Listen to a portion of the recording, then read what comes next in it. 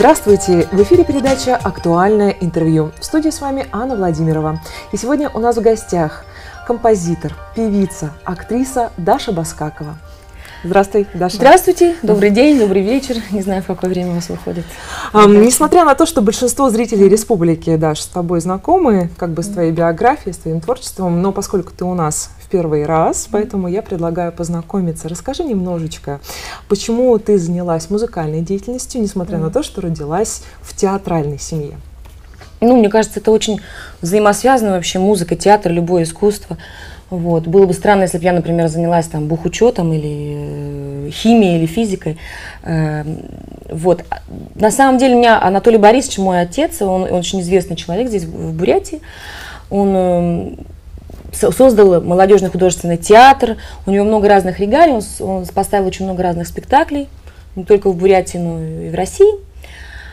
И э, он всегда мечтал быть музыкантом, как он мне потом э, признался. То есть он Хотел мечтать на, э, мечтал играть на скрипке. А, ну, Анатолий Борисович, он даже сочинял какие-то мелодии. Я помню, что когда я начала писать свои первые песни, он мне говорил, надо, чтобы вот так, вот, чтобы это остро, там тонко. И что-то такое мне он объяснял, ну, как мог своими словами.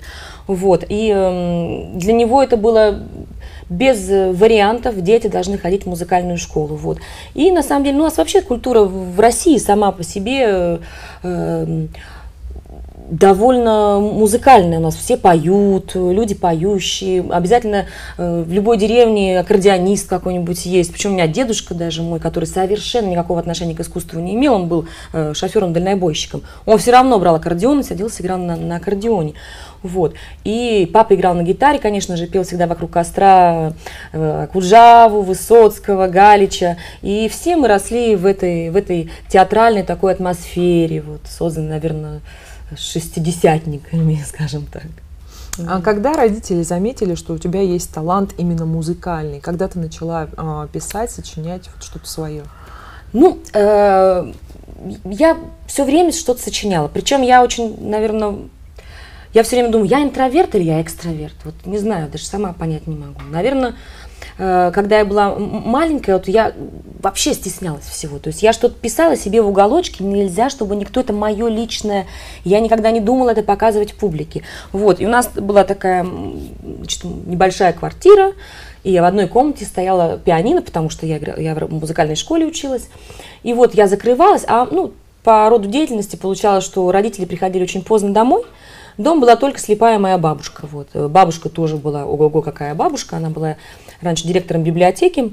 Вот, и бабушка, она лежала себе в комнате, слушала радио, то есть она где-то далеко, она меня не слышала. Я знала, что никто меня не слышит. Я сижу одна, я ставила там, ну, скажем, Есенина, томик там или еще чего-нибудь. И на каждое стихотворение я сочиняла аккорды, песни и любила очень играться вообще. Такая игра для меня была, это даже не, не серьезно. А потом я написала первую песню, потому что я увидела собачку, которую убили, мне стало очень грустно. Я ее подкармливала печенюшками где-то на там, базе отдыха. И вот это, наверное, была моя самая первая песня. А потом я стала сочинять стихи в школе, сочинения мы писали в стихах. Вот. И как-то так пошло, поехало, я стала сочинять э, стихи про учителей, стали меня э, пользовать на олимпиадах. То есть я была, например, ноль совершенной в химии, в физике, но так как я писала стихи для олимпиады, например, для какой-нибудь, или для конкурса, то есть мне твердую ставили четверку. Но там до четверки я не тянула, это точно. А вот э, когда ты уже поняла, что профессионально хочешь заниматься музыкой, а, были ли какие-то, вот, может быть, моменты жизненные, да. которые тебя к этому подтолкнули? Конечно, я выиграла конкурс «Белый месяц». В каком году это было? Это был 96-й год.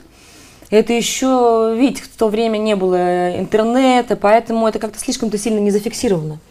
У меня есть только видеозаписи всего этого дела, то есть и вот я выиграла конкурс Белого, «Белый месяц» 96 -го года в оперном театре. Председателем был Борис Ким.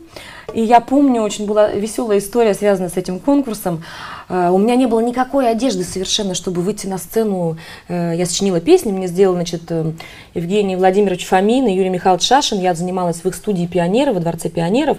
Они мне сделали э, там, с друзьями, с их, они все как-то так гурьбой, дружной музыкальной семьей, мне сделали пару аранжировок. И вот с этими аранжировками я поучаствовала в «Белом месяце». Я помню, у меня было такое шифоновое длинное платье, мне одна женщина, значит, его дала поносить, она была очень высокая, то есть меня какими-то булавочками там его прикололи, и я вышла очень стремительно так вперед в этом шифоновом платье, и оно у меня так вот развеялось, и потом БГТРК накладывала очень много разных монтированных кадров, потому что я была во всей своей ноготе, на самом деле, в этом шифоновом платье. И то есть мы смеялись, что, ну, наверное, выиграл-то поэтому. Ну, я на самом деле думаю, что я выиграла, надеюсь, все-таки, потому что, ну, неплохо выступила. И там я заработала какие-то деньги, потому что был выход либо там выигрыш, либо ехать куда-то на конкурс не на конкурс, а на, каникулы какой-то там Таиланд, тай, ну что-то такое, не путевка, помню, да, путевка, да. Вот. Либо давали деньги. Ой, тогда мерилось все миллионами, я помню. Там вот какие-то миллионы мне, значит, дали. На эти миллионы мне хватило купить билеты в Москву, и я поехала, поступила в эстрадно-джазовый колледж имени Гнесиных и осталась жить в Москве. Ну, тогда, наверное, стало понятно, что я буду заниматься музыкой, потому что я поступала в театральный, я все-таки до конца думала, что я буду заниматься театром по стопам папы. Вот, ну, прошла там какие-то отборочные туры, но вот последний тур, в общем, я не прошла, меня не приняли. Надо было срочно что-то предпринимать, и я вот поступила в эстрадно-джазовый и как-то полностью связалась уже с музыкой. А, на протяжении долгого времени ты проживаешь во Франции. Вот mm. расскажи, пожалуйста, как тебя там приняли тогда изначально, вот такой вот юный, может быть, даже от, отчасти неопытный, только набирающий, так сказать, обороты да, в музыке. Mm. И как тебя принимают сейчас? Ну, принимают так, как я сама себя подаю, конечно же. Конечно, когда я приехала во Францию, я же приехала с театральным э, проектом. Мы приехали с молодежным художественным театром и компания Ленсали Траверсе, э, в которой был, хаз... то есть директором этой компании был Сирил Гросс, э, который стал впоследствии моим молодым человеком. У нас была трагическая история нашей, нашей жизни, нашей любви, потому что он, он погиб в, катастрофе. Э, и это было в 2001 году. Вот, и когда я осталась там, то есть сначала я приехала, Сирил, он, ну, он был в меня влюблен, он, конечно, со мной, вот, это моя принцесса. То есть я была такая его э, сакральная такая вот принцесса. Вот только вот его, и он мной очень гордился, и поэтому, когда он устраивал какие-то концерты, он так важно, очень чинно переводил, вот, пожалуйста, какие-то переводы мы песен, такие слегка несколько куплетов сделали. Вот, а потом я осталась одна, и нужно было каким-то образом э, себя уже зарекомендовать как э, вот не девушка Сирила Гросса, а как вот э, Даша Баскакова. У меня была работа, я играла в театре, в спектакле в одном. То есть я думала, я, наверное, закончу играть в этом спектакле и вернусь. Ну, так получилось, что я создала группу, которая называется Даша Инворс.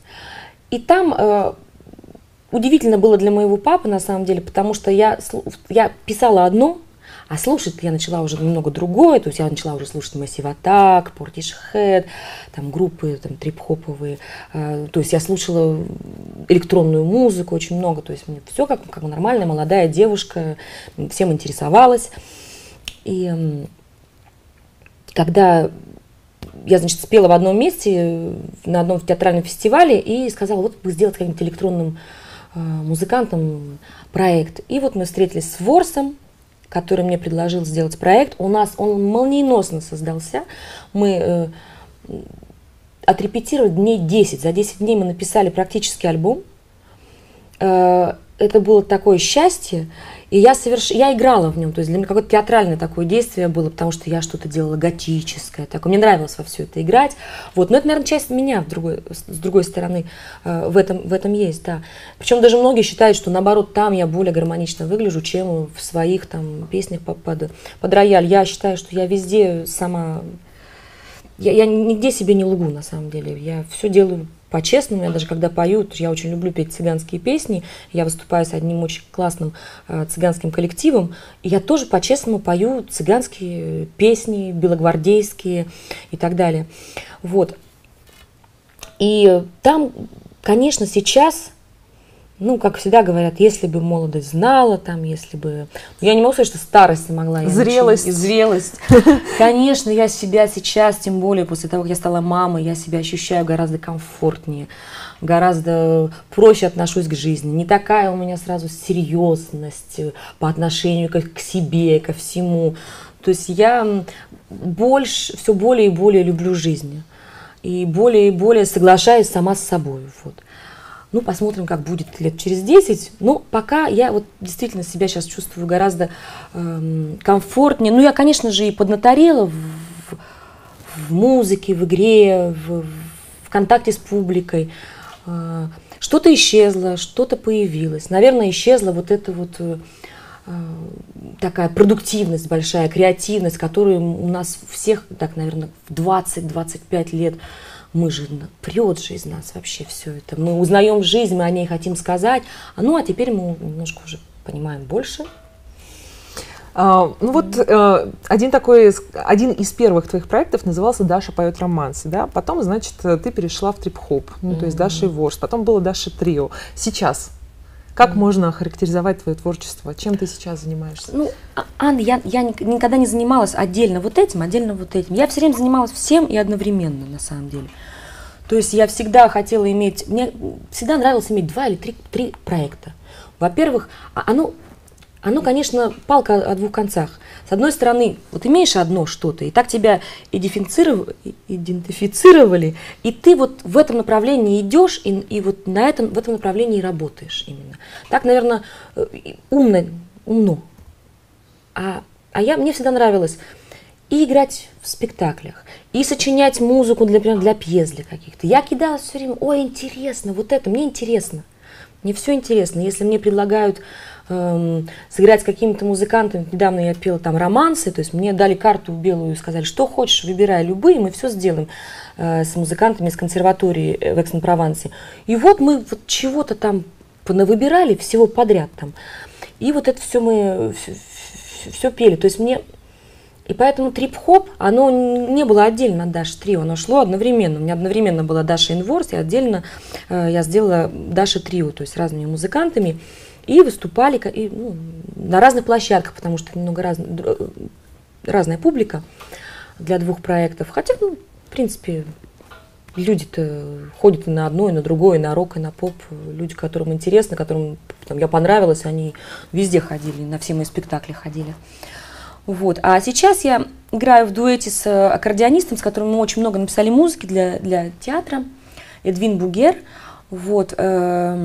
И также мы с ним начали новый проект, э, пока только в самом начале он, мы аранжировываем вещи, ну вот я не знаю, в каком это все будет стиле, то есть больше такое синтезаторы, электроника, немного акустики тоже. Вот, и вот сейчас мы работаем над этим проектом, у нас есть музыкальный продюсер, который помогает нам, значит, с, с, с барабанами, ну, с, с частью вот этой биты делает. И вот я уехала, мы сделали три песни. Сейчас я приеду, посмотрим, как у нас будет это все продвигаться, быстро, не быстро. Это сложнее сейчас, конечно, потому что Эдвин замечательный музыкант, у него тоже много разных проектов. Мне тоже по роду деятельности приходится работать, то есть делать концерты. Видите, у нас же как э, заработок идет не от продаж дисков, а от концертов, и мне невозможно не петь концерт. Каждый концерт это подготовка определенная, иногда какие-то. А вот, пожалуйста, для фестиваля, для какого-нибудь киношного, э, русский киношный фестиваль, мне заказывают, э, а спойте вот из каких-нибудь фильмов песни, да, то есть надо же их подготовить, работать, то есть постоянно идет какая-то работа. Вот, и поэтому Хотелось бы так засесть и месяц только творить. Я думаю, что если я засяду вот так, и месяц у меня будет свободный. Просто творить, творить. Очень быстро все пойдет. Но так как ребенка отнести в школу, привести в школы, то есть надо э, заниматься еще там подготовкой концертов, там, давать рекламу, запросы, ответы, мейлы. Это такая, ну, это работа. Ну, дорогие друзья, Даша Баскакова к нам сегодня пришла не с пустыми руками. Сегодня в эфире нашего телеканала состоится премьера клипа. Просьба обратить ваше внимание на экран.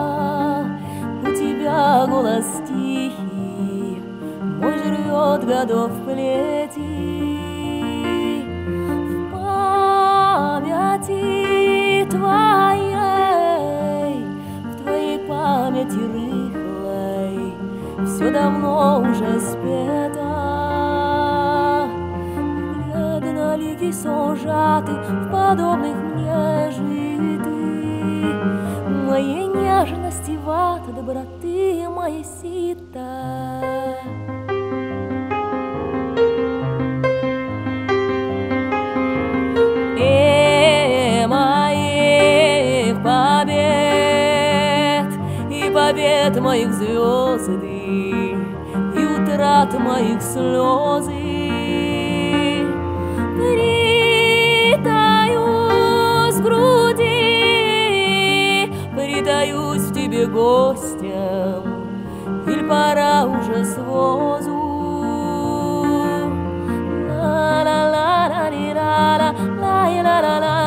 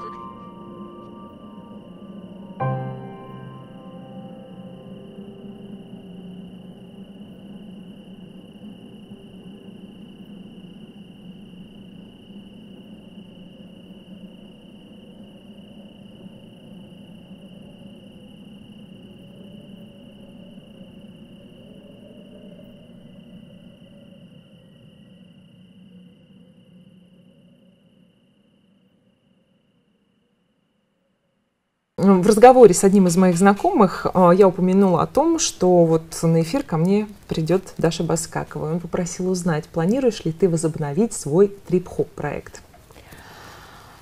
Ой, переведите это все на французский язык, найдите в Фейсбуке Лорен Ворс и скажите, что вам всем очень хочется, чтобы проект возобновился. Я мечтаю его возобновить. Ну, получилось просто так, что мы играли, играли, играли, играли, э, крутились, крутились, значит. У нас сначала был очень хороший, э, как сказать, буат, э, ну, агентство, агентство, которое занималось нашей раскруткой, то есть они нас крутили, находили концерты и так далее. Агентство развелось до огромных масштабов, сейчас они работают с большими звездами, а я просто-напросто забеременела. Вот. И когда я уже там месяца на пятом, наверное, а музыка такая довольно жесткая, и я, в общем, играла полностью эту роль вот этой вот такой тигрицы, львицы. И, э, в общем, пришлось перешить юбку, все это как-то добавить, прибавить. И уже когда с этим животом уже немножко несуразно было скакать на каблуках и, и орать в микрофон, вот, мы прекратили, и потом как бы, ну, мы потом встречались и говорили о том, что мы бы хотели все это возобновить. Но пока вор занялся, он сейчас, э, у него какой-то рэперский проект, там вот, я послушала, ну, мне не, не очень он нравится. Ну вот, но как бы вот он у него есть, и он им занимается. А Ворс очень хороший человек, он мой, мой бывший коллега. Он, если взялся за что-то, он доводит все всегда до, до, до победного конца.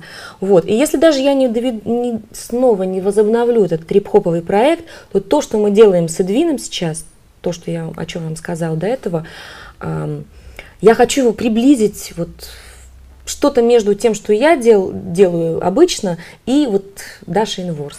Вот. Я очень бы хотела работать с каким-нибудь электронщиком, но пока я просто не могу найти человека. То есть либо я нахожу талантливых музыкантов, но такие тоже. Франция, Россия, все одно. Есть серьезные люди иногда, а есть разглядяи. Бывают очень талантливые, безумно талантливые, но во все стороны. Их же всех надо как вот держать, держать и так далее. А я сама очень человек легкий, то есть я меня тоже надо иногда держать. В общем, я сама себя-то получается держать, а если еще кого-то, иногда мне не хватает сил. Поэтому мне, конечно, проще работать с людьми серьезными. А таких людей, знаете, как тяжело найти? Очень сложно. Но если у вас кого-то, у музыкантов, есть предложение по сотрудничеству, я с удовольствием соглашаюсь на все сотрудничества.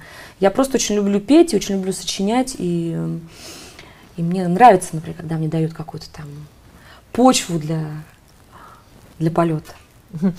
Ты сегодня уже упомянула о том, что пишешь э, достаточно часто э, какие-то вещи для театров, то есть для каких-то постановок mm-hmm. определенных. Вот даже в прошлом году, по-моему, э, для Артема Баскакова, mm-hmm. для Пиноккио, да? Ну, для, музыку, ну, это для музыку Артема, написал. Да. Скажи, пожалуйста, трудно ли э, работать э, ну, вот на расстоянии с режиссером, потому что все-таки, наверное, надо посмотреть, как идут репетиции, как-то вдохновиться.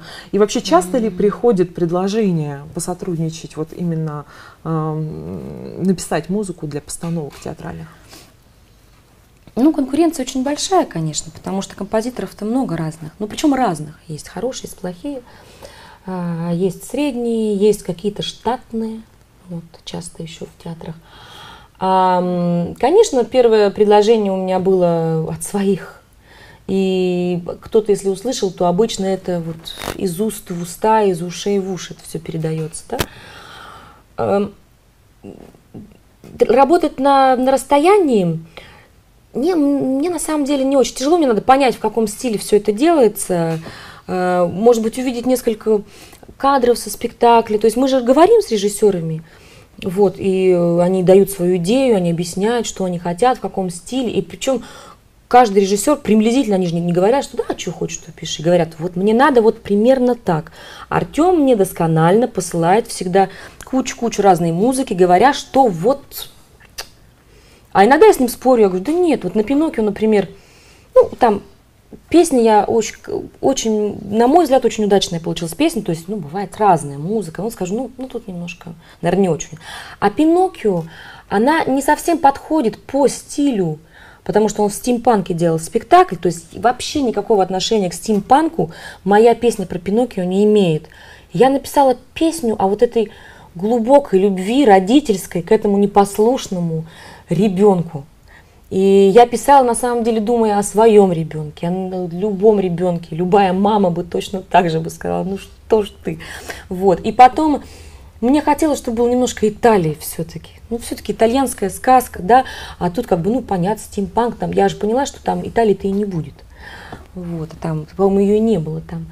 Вот, поэтому я сделала вот такое лирическое отступление. Артем, когда мне попросил, он говорит, напиши рыпак. Уж я пыжилась, пыжилась. Я чего-то стала писать, говорю, Артем, а ты не хочешь просто классную песню, чтобы вот этот вот не рыпак? Потому что я же не рэпер, ну зачем я буду писать рыпак? Ну, попросите хунхурту, там, не знаю. Ну да, у нас много замечательных э, людей, которые ну, пишут да, сегодня вот, сегодня рэп вот процветает. С какой программой выступления ты приехала к нам mm. нынче? Я знаю, вот уже прошло два а, выступления mm. таких mm. массовых. Вот mm-hmm. ты уже говорила mm-hmm. в, в парках.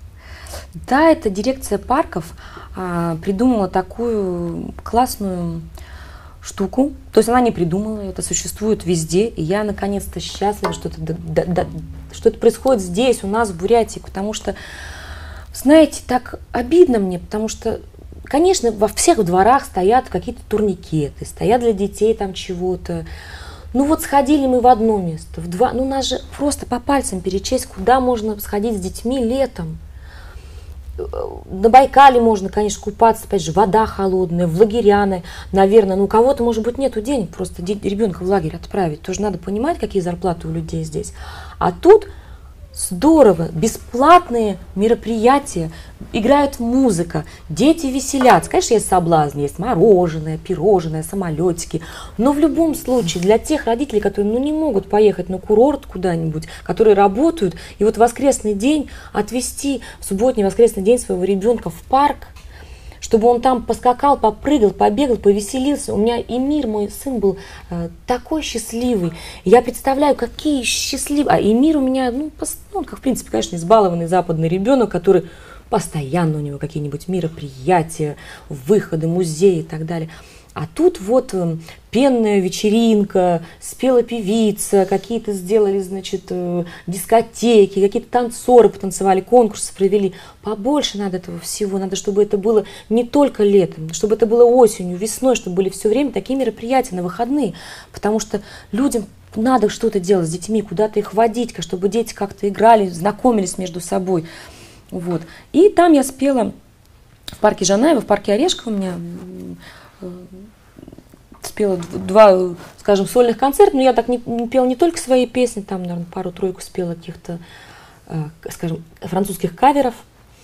Вот, и э, все здорово прошло, ну, мне понравилось. Я не знаю, как все это проходит для других, наверное, может быть, это более широко, массово. Но было очень мило, и так, как я люблю, то есть красиво, так на фоне арки, Орешкова, так обдувает ветер, пианино, я пою.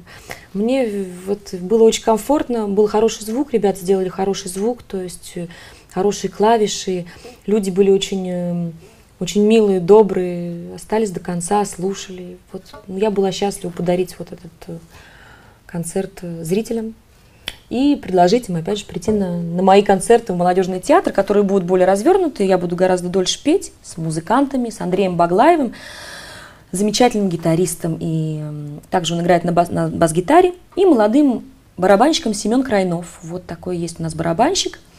Это вот наши такие музыкальные дарования улан-удэнские. Вот мы с ними готовим программу.